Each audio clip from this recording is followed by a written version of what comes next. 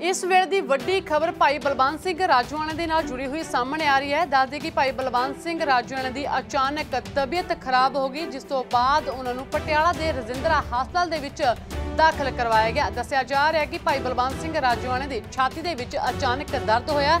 ਜਿਸ ਤੋਂ ਬਾਅਦ ਪੁਲਿਸ ਪ੍ਰਸ਼ਾਸਨ ਦੇ ਵੱਲੋਂ ਉਹਨਾਂ ਨੂੰ ਪਟਿਆਲਾ ਦੇ ਰਜਿੰਦਰਾ ਹਸਪਤਾਲ ਦੇ ਵਿੱਚ ਦਾਖਲ ਕਰਵਾਇਆ ਗਿਆ। ਫਿਲਹਾਲ ਉਹਨਾਂ ਦੀ ਸਿਹਤ ਠੀਕ ਦੱਸੀ ਜਾ ਰਹੀ ਹੈ। ਸੋ ਦੱਸ ਦਈਏ ਕਿ ਇਸ ਤੋਂ ਪਹਿਲਾਂ ਵੀ ਭਾਈ ਬਲਵੰਤ ਸਿੰਘ ਰਾਜੂਆਣਾ ਦੀ ਛਾਤੀ ਦੇ ਵਿੱਚ ਦਰਦ ਹੋਇਆ ਸੀ। ਉਸ ਵੇਲੇ ਵੀ ਉਹਨਾਂ ਨੂੰ ਪਟਿਆਲਾ ਦੇ ਰਜਿੰਦਰਾ ਹਸਪਤਾਲ ਦੇ ਵਿੱਚ ਦਾਖਲ ਕਰਵਾਇਆ ਗਿਆ ਸੀ। ਸੋ ਦੱਸ ਦਈਏ ਕਿ ਭਾਈ ਬਲਵੰਤ ਸਿੰਘ ਰਾਜੂਆਣਾ ਨੂੰ ਕੇਂਦਰੀ ਜੇਲ੍ਹ ਦੇ ਵਿੱਚ ਬੰਦ ਹੋਏ ਨੂੰ 26 ਸਾਲ ਹੋ ਗਏ ਨੇ। 22 ਦਸੰਬਰ 1995 ਦੇ ਵਿੱਚ ਉਹਨਾਂ ਦੀ ਗ੍ਰਿਫਤਾਰੀ ਕੀਤੀ ਗਈ ਸੀ। ਸੋ ਕਿ ਲਗਾਤਾਰ ਜਿਹੜਾ ਕਿ ਉਹਨਾਂ ਦੀ ਰਿਹਾਈ ਨੂੰ ਲੈ ਕੇ ਵੀ ਮੰਗ ਉੱਠੀ ਸੀ ਪਰ ਹਾਲੇ ਤੱਕ ਭਾਈ ਬਲਵੰਤ ਸਿੰਘ ਅ, ਦੀ ਜਿਹੜੀ ਕਿ ਰਿਹਾਈ ਨਹੀਂ ਕੀਤੀ ਗਈ ਮਰਹੂਮ ਬੇਅੰਤ ਸਿੰਘ ਕਤਲकांड ਦੇ ਵਿੱਚ ਜਿਹੜਾ ਕਿ ਉਹਨਾਂ ਨੂੰ ਦੋਸ਼ੀ ਠਹਿਰਾਇਆ ਗਿਆ ਤੇ ਉਸ ਤੋਂ ਬਾਅਦ ਉਹਨਾਂ ਨੂੰ ਫਾਂਸੀ ਦੀ ਸਜ਼ਾ ਦਾ ਐਲਾਨ ਕੀਤਾ ਗਿਆ ਸੀ ਜਿਸ ਤੋਂ ਬਾਅਦ ਉਹ ਲਗਾਤਾਰ 26 ਸਾਲ ਹੋ ਗਏ ਨੇ ਉਹਨਾਂ ਨੂੰ ਜੇਲ੍ਹ ਦੇ ਵਿੱਚ ਨਜ਼ਰਬੰਦ ਹੋਏ ਨੂੰ ਅਤੇ ਅਚਾਨਕ ਅੱਜ ਉਹਨਾਂ ਦੀ ਜਿਹੜੀ ਕਿ ਤਬੀਅਤ ਖਰਾਬ ਹੋਈ, ਉਹਨਾਂ ਨੇ ਦੱਸਿਆ ਕਿ ਉਹਨਾਂ ਦੀ ਛਾਤੀ 'ਚ ਅਚਾਨਕ ਦਰਦ ਹੋਇਆ, ਜਿਸ ਤੋਂ ਬਾਅਦ ਉਹਨਾਂ ਨੇ ਪੁਲਿਸ ਮੁਲਾਜ਼ਮਾਂ ਨੂੰ ਆਪਣੀ ਗੱਲ ਦੱਸੀ, ਜਿਸ ਤੋਂ ਬਾਅਦ ਪੁਲਿਸ ਮੁਲਾਜ਼ਮਾਂ ਦੇ ਵੱਲੋਂ ਉਹਨਾਂ ਨੂੰ ਪਟਿਆਲਾ ਦੇ ਰਜਿੰਦਰਾ ਹਸਪਤਾਲ ਦੇ ਵਿੱਚ ਇਲਾਜ ਲਈ ਜਿਹੜਾ ਕਿ ਭਰਤੀ ਕਰਵਾਇਆ ਗਿਆ। ਕੱਲ ਪੰਜਾਬ ਦੇ ਉੱਤੇ ਮੋਦੀ ਜੀ ਆ ਰਹੇ ਉਹਨਾਂ ਨੂੰ ਕੋਈ ਰਿਹਾਈ ਦੀ ਅਪੀਲ ਕਰੋਗੇ ਤੁਸੀਂ ਆਪਣੀ?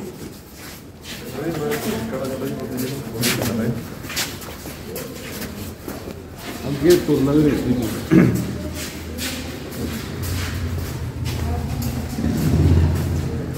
ਚਲੋ ਤੁਸੀਂ ਚਲੀਏ ਕੋਈ ਕਰੋਗੇ ਅਪੀਲ ਜੀ? ਮੋਦੀ ਨੂੰ ਪੰਜਾਬ ਦੇ ਵਿੱਚ ਨਹੀਂ। ਮੋਦੀ ਨੂੰ ਕਹਿਣਾ ਚਾਹੁੰਦੇ ਸਾਰੇ ਜਿਹੜੇ ਜਿੰਨ ਬੰਦੀ ਸਿੰਘ ਆ ਸਾਰਿਆਂ ਦੀ ਰਿਹਾਈ ਕਰਨੀ ਚਾਹੀਦੀ ਉਹਨਾਂ ਨੂੰ। ਕੋਈ ਵੀ ਸਿੱਖਾਂ ਦਾ ਕਾਤਲ 25 ਸਾਲਾਂ ਤੋਂ ਅੰਦਰ ਨਹੀਂ ਹੈ ਵਿੱਚ ਨਹੀਂ ਬਾਹਰ ਸਿੱਖਾਂ ਦਾ ਕੋਈ ਵੀ ਕਾਤਲ ਜਿਹੜਾ ਉਹ 26 27 ਸਾਲਾਂ ਤੋਂ ਇੱਕ ਵੀ ਕਾਤਲ ਅੰਦਰ ਨਹੀਂ ਹੈਗਾ। ਜਿਹੜੇ ਸਾਡੇ ਨੌਜਵਾਨ ਆ ਉਹਨਾਂ ਸਾਰਿਆਂ ਦੀ ਇਹਨਾਂ ਨੂੰ ਰਿਹਾਈ ਕਰਨੀ ਚਾਹੀਦੀ ਹੈ।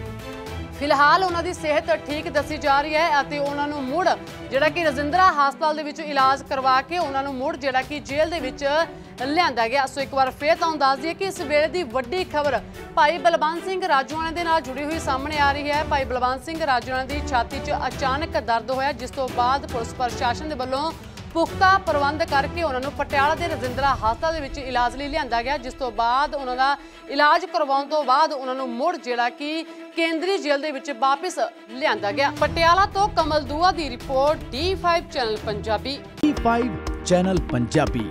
ਹੁਣੇ ਸਬਸਕ੍ਰਾਈਬ ਕਰੋ ਬੈਲ ਆਈਕਨ ਤੇ ਕਲਿੱਕ ਕਰੋ। ਕੀ ਹੁੰਦੀ ਹੈ ਜਮਾਬੰਦੀ? ਕਿਵੇਂ ਬਣਦੀ ਹੈ ਵਸੀਅਤ?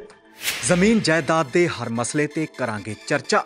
ਦੇਖਣਾ ਨਾ ਭੁੱਲਣਾ ਸਾਡਾ ਖਾਸ ਪ੍ਰੋਗਰਾਮ naibtehsildar.com ਕਾਨੂੰਨ ਜਾਇਦਾਦ ਦਾ।